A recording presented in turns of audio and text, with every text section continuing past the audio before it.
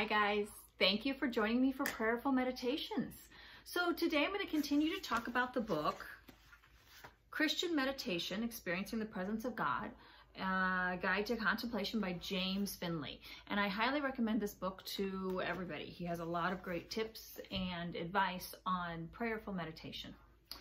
And one thing he says about prayerful meditation or about praying at all or meditating at all, which I thought was pretty beautiful, as he said that this bodily relaxation, the fact that you actually pause, focus on your breath, just let thoughts and feelings go past you, and just really are open to that oneness with, God, that here I am, Lord stance.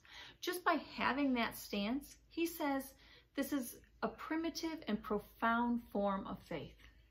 So as we are going and trying to, in some moments, struggling with our faith, hoping to strengthen our faith through our prayer and through our meditation, just by sitting down, whether it be in a chair, on a mat, whether you're laying down in bed, whatever it may be, but just by sitting there and showing up, you've already shown a profound act of faith.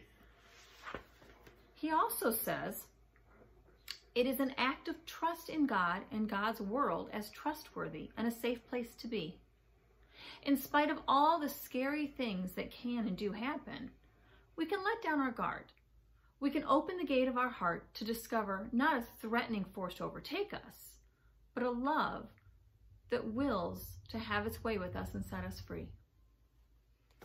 So the next time you are meditating or praying, or you sit down on that mat, or that pillow or whatever it is to pray or to meditate or bedtime prayers, think about the fact that you are showing an act of faith just by opening your heart to God.